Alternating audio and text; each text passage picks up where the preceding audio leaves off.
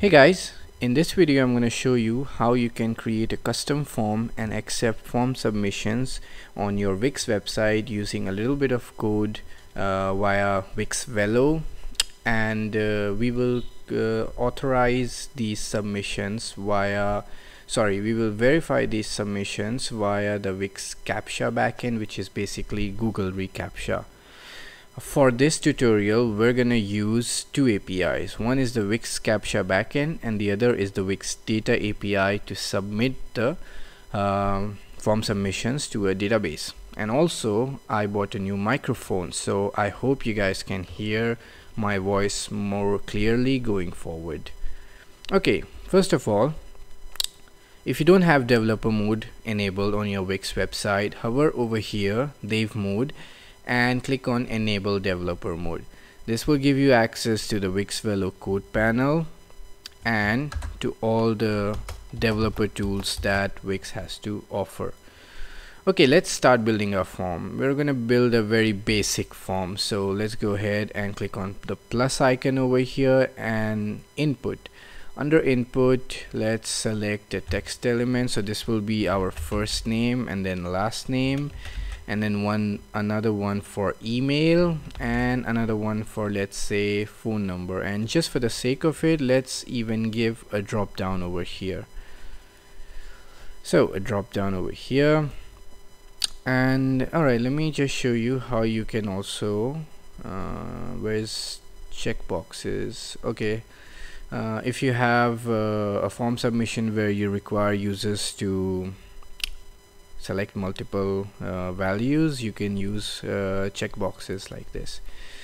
Okay let's go ahead and tidy this up a little bit. Text good. First name um, we'll just leave the placeholder empty. And uh, over here last name again placeholder empty. If you want you can put a placeholder. This one is email. And uh, we're gonna put email address. And we're going to change the type to email so that the Wix input elements uh, validates the email. And over here let's say we put phone number. So phone number.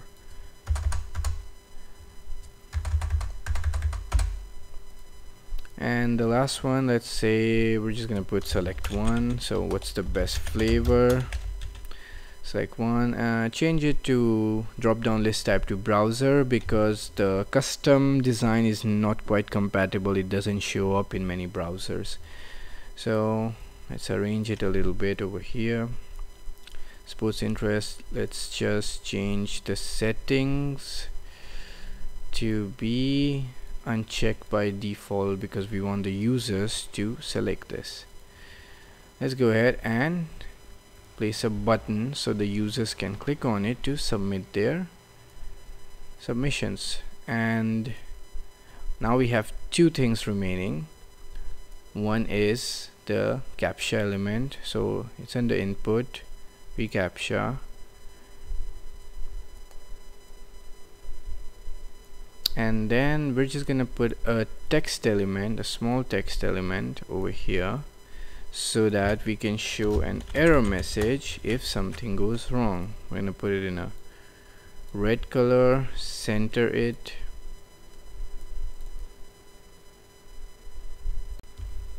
Okay now let's go ahead and change some input element names. So for the first name we're going to change this input element's name to f name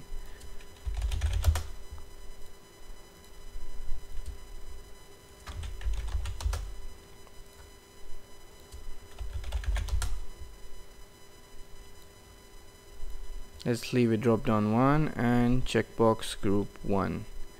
Captcha one and let's change the button to submit. Also let's go ahead and change the button's label to say submit. And let's name this text element error and set it to be hidden by default. Okay I think our front end is ready. Now we need to set up a database to accept these so we have first name last name email phone number a drop down and a checkbox. Forms and create. So this will be the field where we save our first name from the users. Another one for the last name then comes the email address.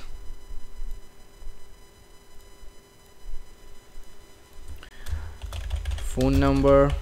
Let's leave the phone number to be of type string which is text because sometimes uh, you might end up uh, wanting the users to put their country codes or the users might want to put brackets uh, for area codes and such. Alright after phone number we had a drop down so we can still use the text element sorry text type. Now we have a checkbox. So for the checkbox we need to use the tab type tags. Checkbox. Okay you can delete the title field from the database which is a default field provided by Wix whenever you create a database and uh, just remember to assign another field as primary. Okay I think our um, database is ready as well. Let's go ahead and set up the Wix CAPTCHA. So CAPTCHA on timeout. So if the CAPTCHA times out we want to disable the submit button.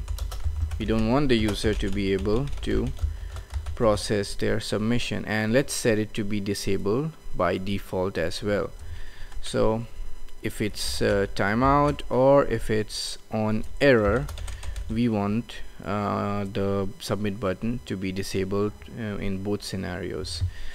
But if the CAPTCHA has been verified we want to enable the submit button. Okay I think we're good. Now we just run some validation checks. So settings text fields are required. The drop down field is also required.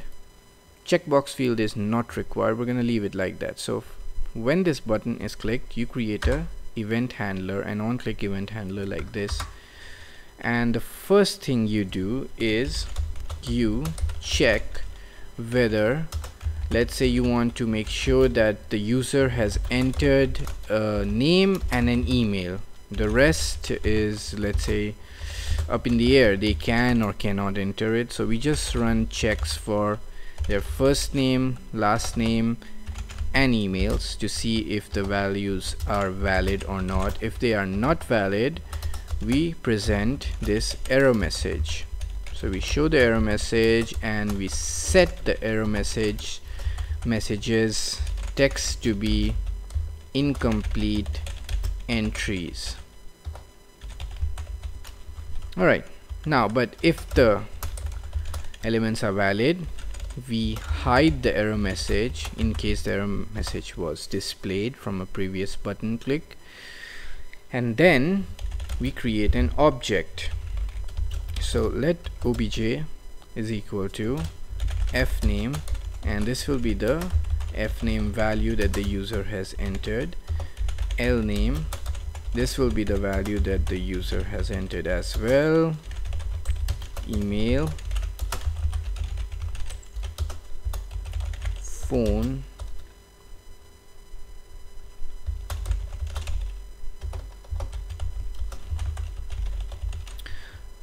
Phone and uh, drop down.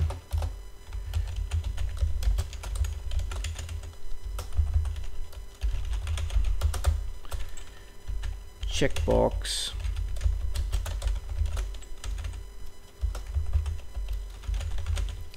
alright uh, one thing. If we want to insert this in a in the database we need to have the objects key similar to one in the database. So you see phone is not correct over here. It's phone number in the database. Email is okay. Checkbox is okay. Drop down is okay. And first name and last name are a bit different. So first name last name okay now there's another issue. We need to send a token from the captcha element to the backend in order to verify. So what we do we nest this entire insertable object. So we call it wix data obj so this is an object nested inside the primary object that we will be sending in the to the backend and then we just take the token like this. So token. Alright. I think we are ready to go. So on your backend create a JSW file and call it submission. Import captcha backend and input wix data. Now before we proceed I need to check if uh, the permissions allow anyone to submit on this database or not. Okay we need to change this to anyone. Delete and update can remain the same. Okay now we don't need to use options which is something you use to suppress authorizations if authorizations are required to insert update delete perform actions on a database. So we call this function process okay and we receive the object in the function over here between the brackets. Alright first thing we do is we get the we check the captcha. So we check it by we change the object okay. And uh, the rest we can leave pretty much the same. There's no need to actually change it. We just need to change the collection name which is sorry the collection um, code. Because the collection name and the code that is to be used in the Wix Velo code can be different. And uh, obj so the submission object is under obj wix data obj so we're gonna change this to obj dot wix data obj. Now let's input this function on the front end. From backend slash submission dot jsw now we process and then we send the object to the backend by putting it under the brackets between the brackets like this. And then we receive the response from the backend actually let me let me translate let me change these. So let me give a value of success true. This is a boolean. Uh, if uh, the submission succeeds or a success of false if it does not succeed. So this way we can check on the front end if the submission succeeded or not. So if res dot success then we let's say we just refresh the page so in order to refresh the page input the wix location API and wix location dot to wix location dot url okay I think we should be ready to check this out. So let's go ahead and refresh the page okay so first of all let's go ahead enter the name. Sean.